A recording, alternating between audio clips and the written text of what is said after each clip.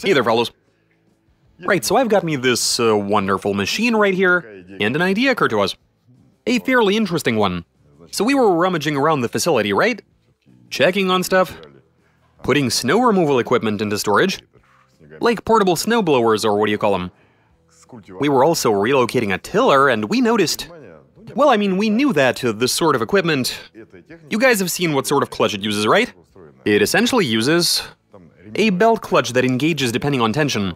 And so an idea occurred to us why not take a car like this one and fit a sort of belt clutch to it? See how it works? Will it hold up even? And we are not going to go out and buy specialized belts. Instead, we'll use ones you'll find in a car, like. Which ones would those be? Accessory belts, I guess. For the water pump, uh, those are about the same, so yum. Let's grab a regular old Poly V belt and turn it into a clutch. Let's do this.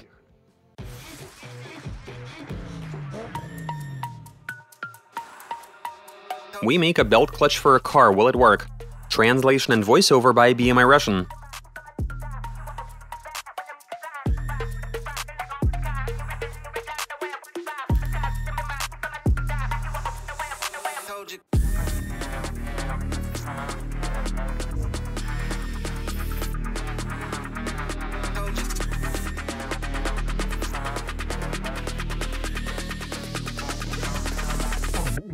noches.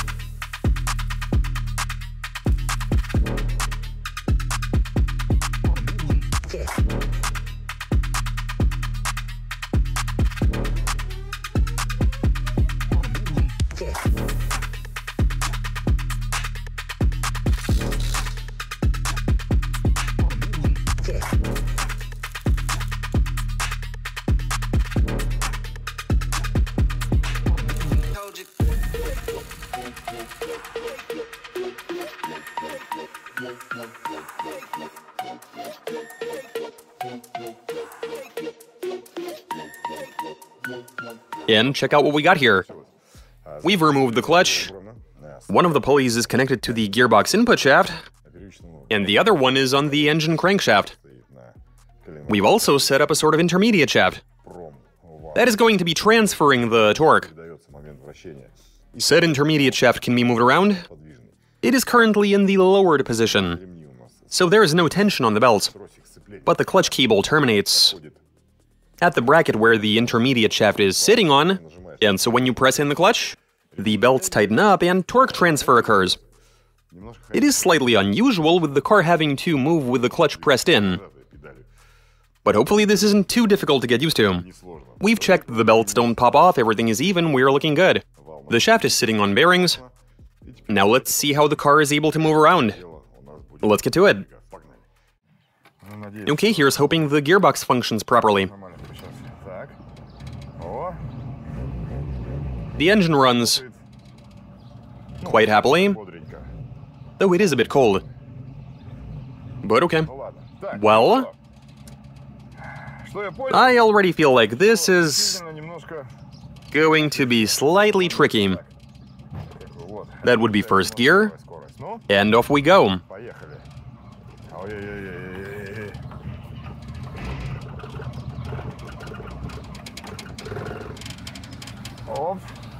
Okay, I've pressed the pedal, and we are moving.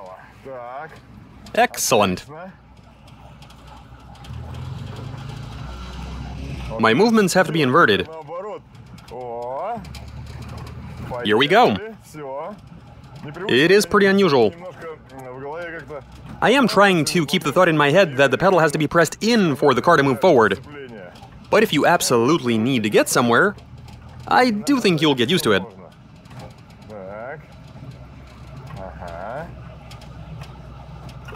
Release the clutch. First gear. Excellent. Slowing down, making sure not to press the clutch. The only thing I need to slow down is the brake pedal. Gonna accelerate.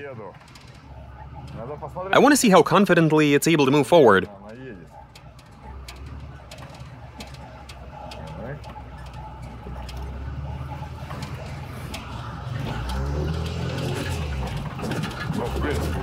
It's actually doing pretty well. Look at that, the belts are able to cope with the torque and um, transfer it from the engine to the gearbox. They're not even squealing. There's no slip. And that is good. The gearbox is working well. That's also nice. So the clutch works.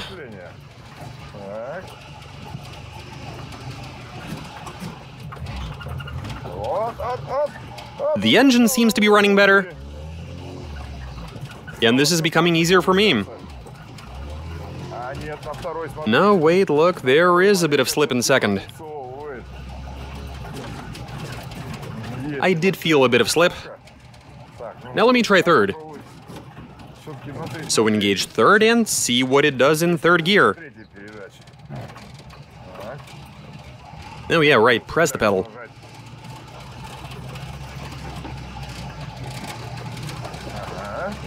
Release, change gear, press it, accelerate. That's how this works now. Let me just... My leg is going for the clutch on reflex for the gear change. Didn't go in.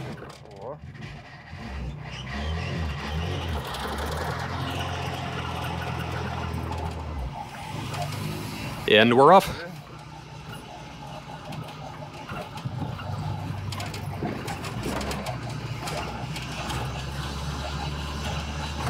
Change gear.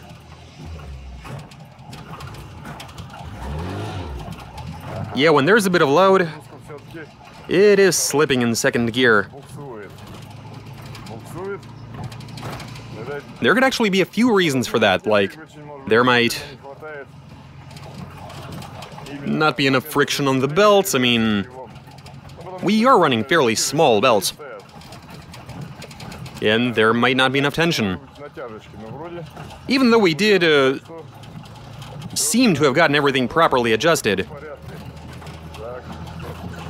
That second.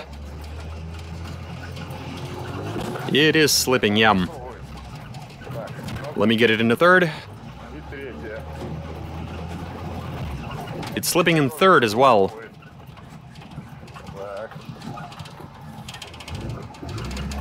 But at least I'm getting the hang of this. I press it and go, release it and shift. You can get used to it.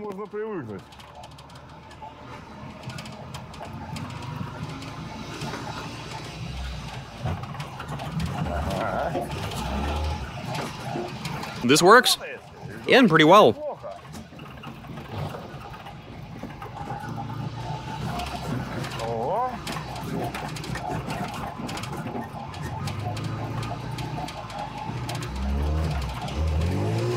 Oh, and now we have slip in first gear.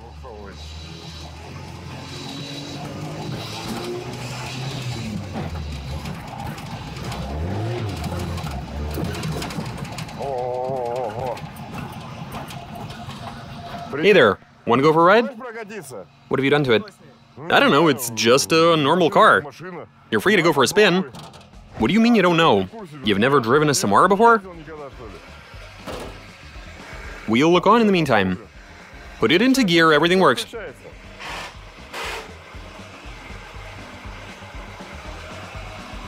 What's with the clutch? Everything is where it should be. You see the pedal.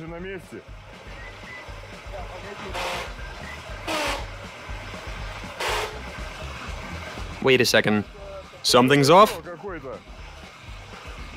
Okay, let me give you a hint. Release the pedal, put it into gear. Is it automatic? Nope. Nope.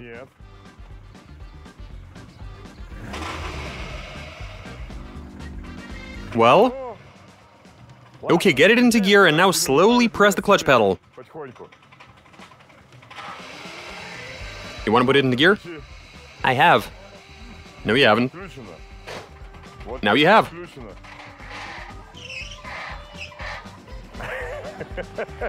and off he goes. The belt clutch is so smooth that the guy didn't even notice. Without knowing, he hopped in, pressed the clutch, and he's off. Huh? He'll get the hang of it. He'll figure out what's up.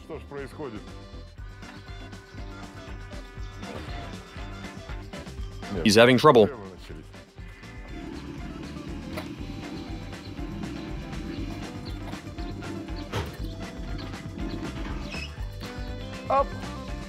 You failed your exam. Give it some gas. Sounds like an ass. The belts are making that noise.